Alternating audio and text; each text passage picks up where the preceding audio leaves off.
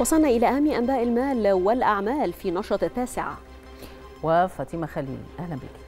شكرا سحر ناجي شكرا ريهام الديب واهلا بكم مشاهدينا وجولة اقتصادية جديدة.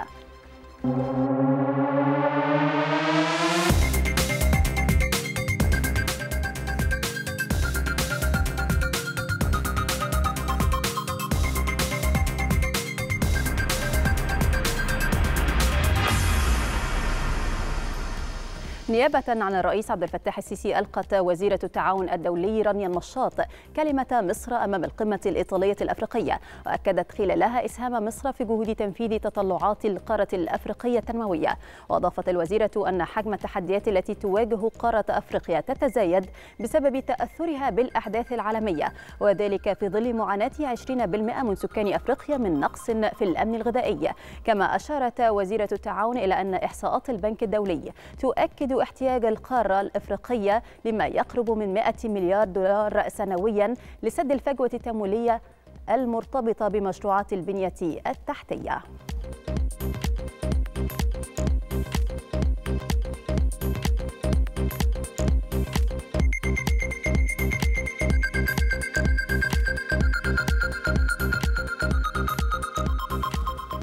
استقبل وزير البترول طارق الملا رئيس شركة أديس القابضة لخدمة الحفر محمد فاروق. وهي الشركة الفائزة بأول مزايدة عالمية من نوعها للحقول المتقادمة بخليج السويس والصحراء الشرقية والتي تحتوي على كميات من الزيت الخام. أكد الملا أن طرح مثل هذه المزايدات يأتي في ضوء اهتمام قطاع البترول بجذب شركات البحث والإنتاج والخدمات للعمل في هذه الحقول التي تتطلب استخدام أحدث الطرق التكنولوجية وتمويل لاستخراج هذه الكميات الموجودة بالأبار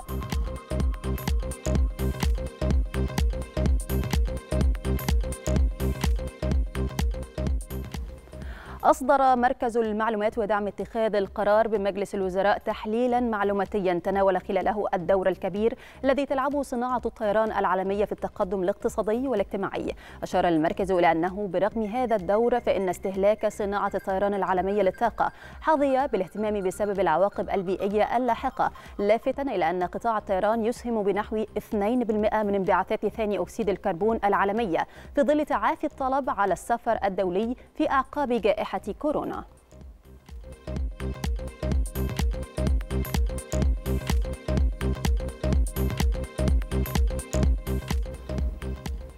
وإلى سوق المال حيث أنهت البورصة تعاملاتها على ارتفاع جماعي للمؤشرات مدفوعة بعمليات شراء من المتعاملين العرب والأجانب فيما مالت تعاملات المصريين وسط تداولات بلغت نحو 7 مليارات و500 مليون جنيه وربح رأس المال السوقي نحو 51 مليار جنيه ليغلق عند مستوى تريليونين و121 مليار جنيه.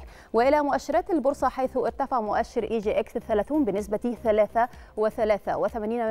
ليغلق عند مستوى 30347 نقطة. كما صعد مؤشر الشركات الصغيرة والمتوسطة EGX 70 متساوي الأوزان بنسبة 2.13% ليغلق عند مستوى 6940 نقطة. زاد مؤشر EGX 100 متساوي الأوزان بنسبة 2.32% ليغلق عند مستوى 9860 نقطة. في أسواق البترول العالمية ارتفعت أسعار النفط في التعاملات مع استمرار مخاوف الإمدادات. ارتفعت العقود الآجلة لخام برنت بنسبة 3 من 10% لتصل إلى 82 دولار و65 سنت للبرميل. كما صعد خام غرب تكساس الوسيط الأمريكي بنسبة 4 من 10% ليصل إلى 77 دولار و9 سنتات للبرميل.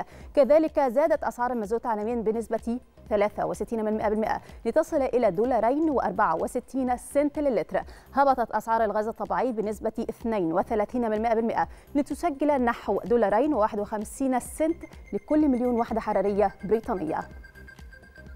تنطلق فعاليات مؤتمر الطاقة النظيفة 2024 غدا في الرياض بمشاركة واسعة من خبراء ومختصين محليين ودوليين في مجالات الطاقة الشمسية. يهدف المؤتمر إلى استكشاف التقنيات والحلول المتطورة من الشركات الرائدة في قطاع الطاقة الشمسية وتحديد المسارات نحو مستقبل مستدام ونظيف للطاقة في المملكة. وذلك من خلال تعزيز الحوار والابتكار المحلي في هذا المجال.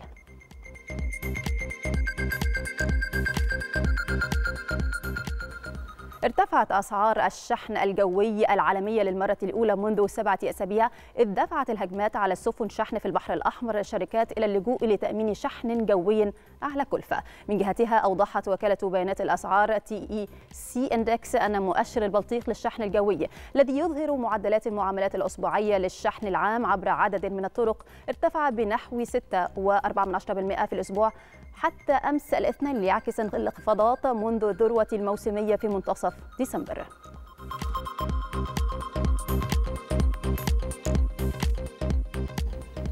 أعرب الرئيس الفرنسي إيمانويل ماكرون عن أمله في تنظيم الواردات الأوكرانية وخاصة الدواجن على المستوى الأوروبي جاء ذلك خلال مؤتمر صحفي لماكرون في ستوكهولم مع رئيس الحكومة السويدي أولف كريسترشون وتمثل خطوة ماكرون محاولة لتهدئة غضب المزارعين الذين بدأوا في إغلاق الطرق الرئيسة السريعة حول باريس بجرارتهم ودعت نقابتان للمزارعين إلى حصار باريس للممارسة الضغط على الحكومة لتلبية طلباتهم حيث وعدت الحكومة الفرنسية بتقديم مزيد من الإجراءات لصالح المزارعين.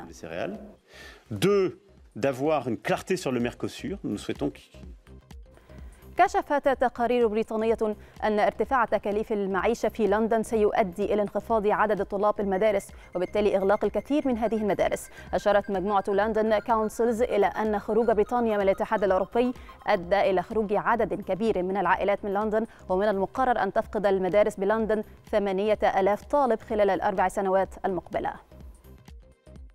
العديد من المدارس بالعاصمة البريطانية لندن معرضة لخطر الإغلاق بسبب انخفاض عدد الطلاب لارتفاع تكاليف المعيشة ورحيل عائلات كثيرة عن المدينة بعد خروج بريطانيا من الاتحاد الأوروبي وانخفاض معدل المواليد. مجموعة لندن كونسلز توقعت في تقرير لها أنه في السنوات الأربع المقبلة ستفقد العاصمة البريطانية حوالي ثمانية آلاف طالب معربة عن قلقها إزاء استدامة بعض المؤسسات في مواجهة ذلك. أوضح التقرير أن هناك العديد من العوامل التي ربما دفعت العائلات إلى مغادرة لندن مثل تأثير جائحة كورونا وارتفاع تكاليف المعيشة وخروج بريطانيا من الاتحاد الأوروبي أو حتى الافتقار إلى سكن يسير التكلفة. قالت المجموعة التي تمثل 32 مجلسا تغطي لندن الكبرى إن انخفاض معدل المواليد بنسبة 17% في المدينة بين عامي 2012 و 2021 هو سبب رئيسي آخر لانخفاض الطلب على على مقاعد مدرسية. ومع اختيار عدد متزايد من الأشخاص عدم العيش في العاصمة انخفض معدل المواليد في لندن كما أظهر التقرير. وحذر التقرير من أن هذا التراجع قد يتفاقم ما يؤدي إلى انخفاض إضافي في عدد الطلاب واحتمال إغلاق المدارس. كذلك حذر التقرير من أن المدارس التي تمولها الحكومة ستضطر لاتخاذ قرارات صعبة لتحقيق توازن في ميزانيتها. مشاهدينا نهاية هذه الجولة الاقتصادية عودة مرة أخرى لسحر وريهام لاستكمال ما تبقى من التسعة شكرا فاطمة.